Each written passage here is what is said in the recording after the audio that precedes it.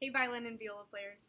So, you didn't know it, but all along in your violin and viola playing careers, you have been playing something called finger pattern number one, where your fingers were on each of your tapes. That is called finger pattern number one.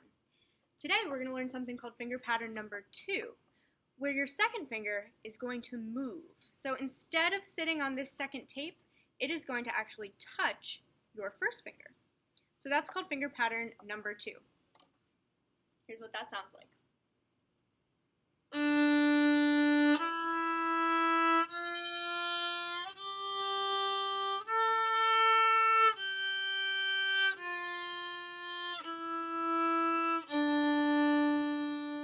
And the notes for finger pattern number two on the D string are going to be still your open D, first finger E, low two, so the second finger touching that first finger, that's going to create F natural.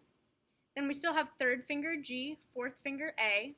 Then on the A string, we have open A, first finger B, low two, again touching that first finger.